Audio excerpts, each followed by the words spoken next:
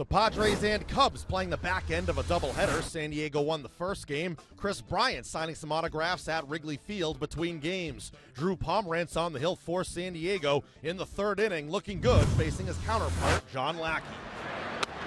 And the breaking ball drops in there for strike three. Fourth strikeout for Drew Pomeranz. Dexter Fowler, a strikeout victim his first time, and a swing and a miss here. A strikeout victim his second time. Four in a row retired by Pomeranz. And a swing and a miss as Heyward strikes out. On the breaking ball. Deep to left. Car rushed. That's going to be out on the street. This ain't a scoreboard's ball today. It was a perfect game and scoreless, obviously, with a perfect game. Long home run for Bethancourt puts the Padres on top one to nothing. 100 pitches even now for Pomeranz, working with two outs in the sixth inning. Soler strikes out. Third time Pomeranz has got him. And the Cubs leave a runner at second base. 11 for John Lackey here with two down in the eighth inning. This will be 112 and a new season high.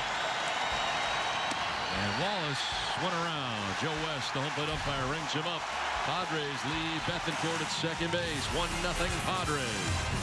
Heyward at third, Bryant at second, Rizzo at first with two down here in the Cubs' eighth inning. So the battle right now between Brad Hand and Jorge Soler. 2-2 pitch.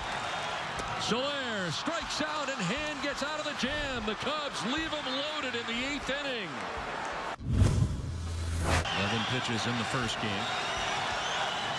Trying to pick up his second save of the day. On the ground, back to Rodney, knocks it down, flips underhanded, and the Padres win. San Diego comes into Chicago, takes two out of three, and the Chicago Cubs have lost their first series of the year.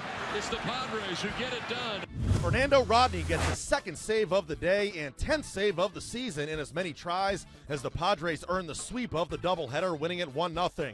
Drew Pomeranz continues his amazing season, tossing six scoreless frames, tying a career high with 10 strikeouts, lowering his ERA to 1.80. Christian Bethancourt with two of the Padres' three hits in the game.